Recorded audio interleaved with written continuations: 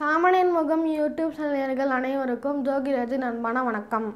கடந்த ரெண்டு வருஷமாக மக்களோட யோசனை இருக்க யோசனையில் இருக்கக்கூடிய ஒரே விஷயம் கொரோனா வைரஸ் தான். TV news paper YouTube channel அந்த சேனல் எல்லாத்துலேயுமே பரவலாக பேசக்கூடியது நம்ம தினைக்கும் கேட்கக்கூடிய பார்க்கக்கூடிய ஒரே விஷயம் இந்த கொரோனா வைரஸ் தான். வேர்ல்ட் ஹெல்த் ஆர்கனைசேஷன் சொன்ன சில ப்ரோட்டோகால்ஸின் படி அதாவது நெறிமுறைகள் அனைத்து நாடுகளும் பின்பற்றிட்டு வராங்க. இந்த கொரோனா வைரஸ் வந்தது மூலமாக நம்மளோட எஜுகேஷன் சிஸ்டத்தையும் பொருளாதாரத்தையும் அது ரொம்பவே பாதிச்சிருச்சிச்சு. இதனால் உலகம் இதனால் உலக நாடுகள் அனைத்துமே ஸ்தம்பித்து போயிருக்குது. நம்மளுக்கு முதல் அலை வந்தப்ப அது வந்து முதியோர்களை தான் அதிகமாக தாக்குனுச்சு. அப்போ நடந்த உயிரிழப்பை விட ரெண்டாவது அலையில் நடந்த உயிரிழப்பு தான் அதிகமாக இருந்தது. ரெண்டாவது அலை வந்தப்ப அது மிடில் ஏஜ் பீப்புளை தான் அதிகமாக தாக்குனுச்சு. இப்போ இருக்கக்கூடிய நிலைமை வந்து ரொம்ப மோசமானது. ஏன்னா நூறு வருஷத்துக்கு முன்னாடி வந்த பேண்டமிக் மாதிரியே இப்போவும் இந்த கொரோனா கூட நம்ம இருக்க வாழ்கிறதுங்கிறது ஒரு சவாலான விஷயந்தான் ஆனால் இதையும் தாண்டி தான் நம்ம வாழ்ந்தாகணும். அதுக்கு என்ன பண்ணோன்னா நமக்கு வந்து ரெண்டாவது அலை வந்தப்போ வேக்சின் கண்டுபிடிச்சிட்டாங்க. அதனால் வந்து வேக்சின் போட்டுக்கிறது மூலமாக நம்மளுக்கு உயிருக்கு எழுபது சதவீதம் உத்தரவாதம். அதனால் நீங்கள் இன்னும் வேக்சின் போடலன்னா போய் போட்டுக்கோங்க. டபிள்யூஹெச்ஓ வந்து ஒரு கணக்கெடுப்பு எடுத்தாங்க. அது எப்படின்னா வேக்சின் போடாதவங்க வந்து ஒரு குரூப்பாகவும் வேக்சின் போட்டவங்க வந்து ஒரு குரூப்பாகவும் வச்சு கணக்கெடுத்து பார்த்துருக்காங்க. அவங்களுக்கு வந்து அதில் ஒரு விஷயம் கிடச்சிருது. அது என்னென்னா வேக்சின் போடாதவங்களுக்கு தான் அதிகமாக வந்து உயிரிழப்பு ஏற்பட்டிருக்குன்னு அவங்களுக்கு தெரிய வந்தது.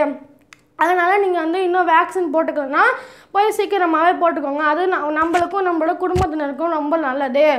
இது வே வேக்சின் போடும்போது ஒரு முக்கியமான விஷயம் என்னென்னா நீங்கள் முதல் டோஸ் என்ன ஊசி போடுறீங்கன்னு தெரிஞ்சு வச்சுக்கோங்க. அது அதை தெரிஞ்சு வச்சுட்டு ரெண்டாவது டோஸ்லேயும் அதே ஊசி தான் போடணும். முதல் டோஸ் ஒரு ஊசி ரெண்டாவது ஒரு ஊசி ஒரு ஊசிலாம் போடக்கூடாது. அது தவறு. இப்போ இந்தியாவில் வந்து மூணு விதமான ஊசி அவைலபிளாக இருக்குது. அது என்னென்னா கோவிஷீல்டு கோவேக்சின் ஸ்புட்னிக் வி இந்த இந்த ஊசி தான் பவர் இருக்குது இந்த ஊசி பவர் கிடையாது. இதுதான் ரொம்ப ஸ்ட்ராங்காக வீரியமாக இருக்கும் அப்படிலாம் சொல்லி எந்த ஊசிக்காக எந்த தடுப்பூசிக்காகவும் நீங்கள் வெயிட் பண்ணாதீங்க. உங்கள் ஏரியாவில் உங்களுக்கு எது எளிதில் கிடைக்குதோ அந்த ஊசியை நீங்கள் போட்டுக்கலாம். அந்த தடுப்பூசியை நீங்கள் போட்டுக்கலாம். ஏன்னா நீங்கள் வெயிட் பண்ணுற நேரத்தில் உங்களை கொரோனா தாக்கிடுச்சுன்னா யாராலும் எதுவுமே பண்ண முடியாது. அதனால் உங்களுக்கு எளிதில் கிடைக்கிற தடுப்பூசியை நீங்கள் போட்டுக்கொள்கிறதுங்கிறது நல்லது. வதந்திங்களை நம்பாதீங்க. சோஷியல் மீடியா அங்கெல்லாம் அதுலலாம் சொல்கிற வதந்திங்களெல்லாம் நீங்கள் நம்பாமல் வேர்ல்ட் ஆர்கனைசேஷன் சொல்கிறதையும் அரசு சொல்கிறதையும் மருத்துவர்கள் சொல்கிறதையும் மட்டும் நம்பி நீங்கள் வந்து இந்த தடுப்பூசியை போட்டுக்கொள்ளுங்க. அது நம்மளுக்கும் நம்மளோட குடும்பத்தினருக்கும் ரொம்பவே நல்லது.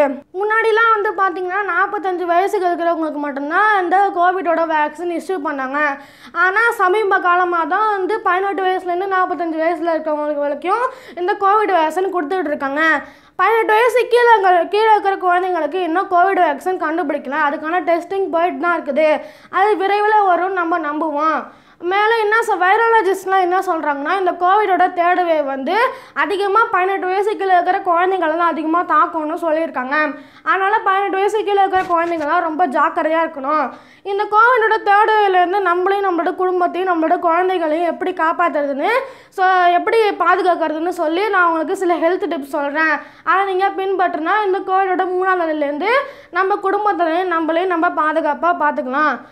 குழந்தைங்க வந்து வீட்டை விட்டு வெளியில் போகக்கூடாது. ஃப்ரெண்ட்ஸை பார்க்கணும் சொந்தக்காரங்க பார்க்கணும்னு சொல்லி வெளியிடங்களுக்கோ இல்லை வெளியூர்களுக்கோ போகவே கூடாது. குழந்தைங்கள வந்து கடைகளுக்கோ இல்லை மக்கள் கூட பொது இடங்களுக்கோ கூட்டிகிட்டு போகக்கூடாது. கையை வந்து அடிக்கடி ஹேண்ட் வாஷ் போட்டு வாஷ் பண்ணி அவங்கள சுத்தமாக இருக்க சொல்லுங்கள் அவங்களோட கையையோ இல்லை கண்ணையோ கசக்கிறது இந்த மாதிரி மூக்கில் இப்படிலாம் பண்ணுறது இதெல்லாம் பண்ண தவிர்க்க சொல்லுங்கள் ஏன்னா அவங்க கை கழுவுறதுக்கு முன்னாடியே அவங்க கையை கழுவி சுத்தப்படுறதுக்கு முன்னாடியே இந்த மாதிரி விஷயங்கள்லாம் பண்ண தவிர்க்க சொல்லுங்கள் பெற்றோர்களுக்கெல்லாம் ஒரு கோரிக்கை. இது என்னென்னா அவங்க வெளியிடங்களுக்கு எங்கேயாவது போயிட்டு வந்தாங்கன்னா அவங்கள சுத்தப்படுத்திக்கிட்டு அவங்கள குளிச்சுக்கிட்டு சுத்தப்படுத்துறதுக்கு முன்னாடியே அவங்கள அவங்க வந்து குழந்தைங்க பக்கத்தில் போகக்கூடாது. ஒரு இன்னொரு விஷயம் என்னென்னா ஒரு நாளைக்கு ரெண்டு தடவையாவது குளிக்கணும். செல்ஃபோன் விளாட்டு ஜாமா கீபோர்டு சுவிட்சஸ் பிளேயிங் ஐட்டம்ஸ் எல்லாம் வந்து நீங்கள் ஒரு நாளைக்கு ரெண்டு தடவையாவது சுத்தப்படுத்தணும். டாய்லெட்ஸை வந்து ஒரு நாளுக்கு நாள் தினைக்கும் வந்து டிஸ்இன்ஃபெக்டன்ஸ் வச்சு கழுவணும். அவங்க வீட்டையும் வந்து அடிக்கடி சுத்தப்படுத்தணும். தலைவாணி தலைவாணி உரம் இதெல்லாம் வந்து அப்பப்போ நீங்கள் கழுவி சுத்தப்படுத்தி வாஷ் பண்ணி வைக்கணும். இன்னொரு விஷயம் என்னென்னா ஒருத்தர் பயன்படுத்தின டூத் டூத் ப்ரஷ்ஷையோ இல்லை டங் கிளீனரையோ இன்னொருத்தர் பயன்படுத்தக்கூடாது. முக்கியமான விஷயம் என்னென்னா எஸ்எம்எஸ்ஸை ஃபாலோ பண்ணணும். அதாவது சோஷியல் டிஸ்டன்ஸ் மாஸ்க் சானிடைசேஷன் இப்போ நம்ம டயட் என்ன டயட் எடுத்துக்கலாம்? குழந்தைங்களுக்கு என்ன டயட் கொடுக்கலாம்னு நம்ம இப்போ நான் சொல்கிறேன் ஹை ப்ரோட்டீனிஷியஸ் டயட் தான் நம்ம கொடுக்கணும். ஒரு நாளைக்கு ரெண்டு முட்டை அதுக்கப்புறம் ஒரு glass of milk hundred ML அதுக்கப்புறம் வேக வச்ச இல்லாட்டி ஊற வச்ச பருப்பு வகைகள் இதெல்லாம் கொடுக்கலாம். உதாரணத்துக்கு சன்னா ராஜ்மா பச்சை பட்டாணி பச்சை பயிரெலாம் கொடுக்கலாம். Fresh fruits fresh vegetables seasonal fruits citrus fruits dry fruits இதெல்லாம் அவங்களுக்கு கொடுக்கலாம். இந்த மாதிரி விட்டமின் சீக்கிர ஃப்ரூட்ஸ்லாம் கொடுக்கலாம். அது அவங்களுக்கு இம்யூனிட்டி கூட அதிகமாக்கும். அது மட்டும் இல்லாமல் நம்ம கீரை வகைகள் கூட அவங்களுக்கு கொடுக்கலாம். அதில் அயன் சத்து நிறையா இருக்கிறதுனால அதுவும் அவங்களோட இம்யூனிட்டிக்கு ரொம்ப இம்யூனிட்டி அதிகமாகிறதுக்கு உதவும். முக்கியமான விஷயம் என்னென்னா நம்ம நம்ம வீட்டில் செய்கிற சாப்பாடு மட்டும்தான் சாப்பிடணும். வெளியில் செய்கிற வெளிலேருந்து நம்ம சாப்பாடு சாப்பிடக்கூடாது.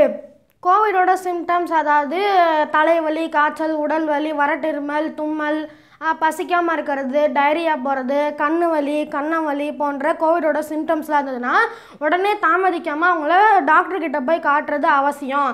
நான் இப்போ சொன்ன ஹெல்த் டிப்ஸ்லாம் உங்களுக்கு பயன்படும் நான் நம்புகிறேன் இதெல்லாம் வச்சு இதை நீங்கள் பின்பற்றி இந்த கோவிலோட மூணாவது அலையிலேருந்து நம்மளையும் நம்மளோட குடும்பத்தையும் நம்ம காப்போம்.